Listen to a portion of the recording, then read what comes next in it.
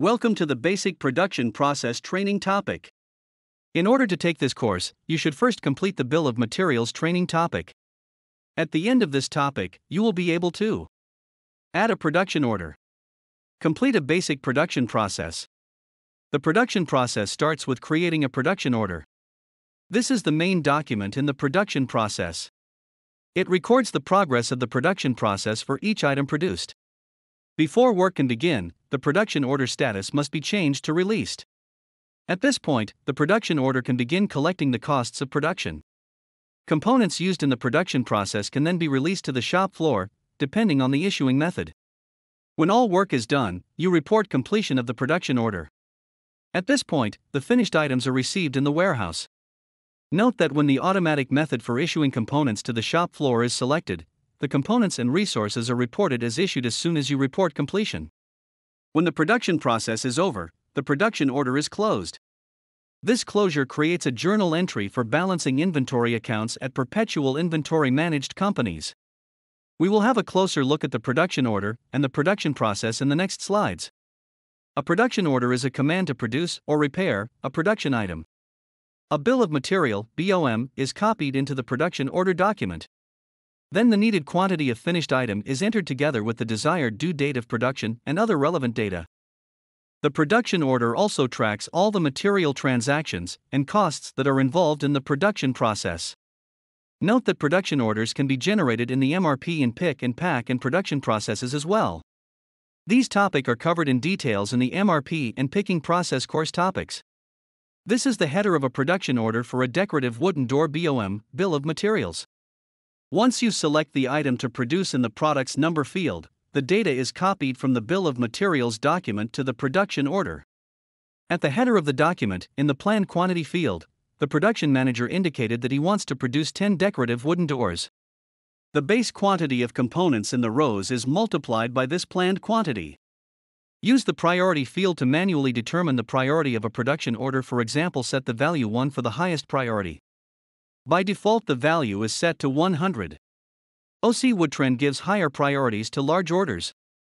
The priority field is displayed in the pick pack and production window and in the open items list report.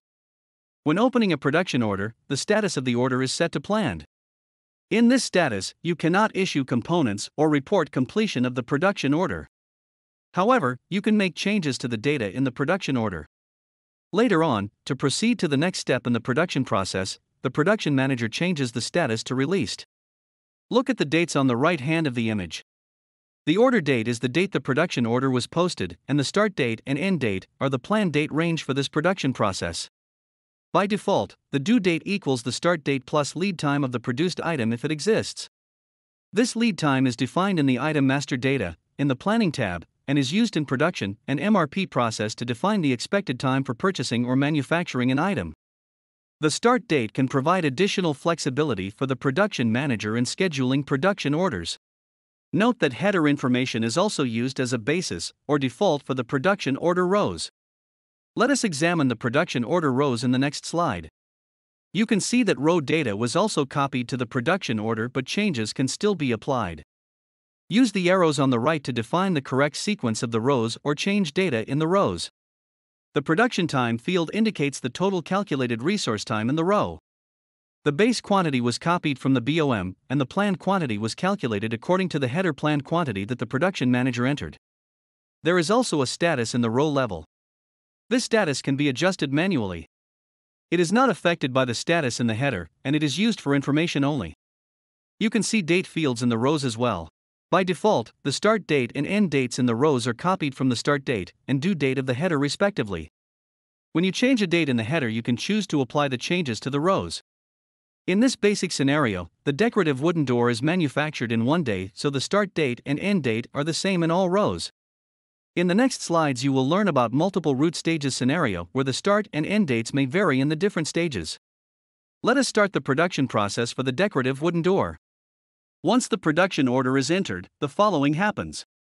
The quantity of the item components of the production order is subtracted from the available quantity of the items and became a committed quantity. We can see it in the Item Master Data Inventory tab. The capacity of the resources of the production order is subtracted from the internal capacity and became a committed capacity. more about resource capacity in the resource capacity training. The production manager changes the status of the order to release to start the production process. Once the status has been set to released, we can issue components depending on the issue method, receive the produced item into inventory, and report completion for the production order. You still have the option to add or change components and resources that have not yet been issued. Since OC Woodtrend manages the shop floor area as a separate warehouse, the production manager transfers the components from the main warehouse to the shop floor. He does this by creating an inventory transfer from the context menu of the production order. At the end of the process, the production manager reports completion of production. From the context menu, he chooses Report Completion. When reporting completion, the system automatically receives the finished product into inventory by adding a receipt from production document. Issues backflushed components by adding an issue for production document. Calculates the cost of producing the item. Note, a receipt from production document can be issued also from the production menu entry.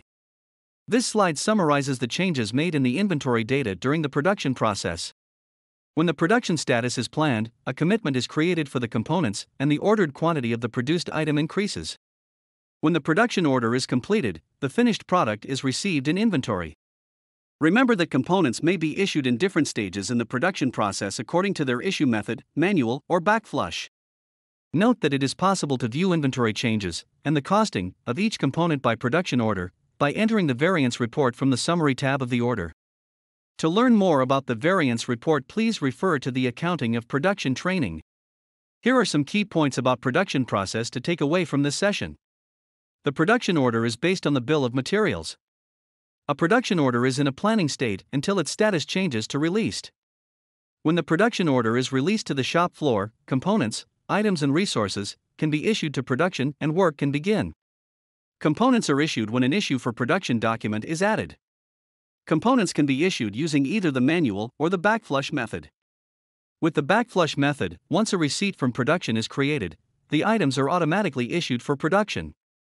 The manual issue method allows you to issue the components precisely when they are required in the production process and also issue a partial quantity, even before reporting completion. When you report completion, the system automatically receives the finished product in inventory and issues backflushed components.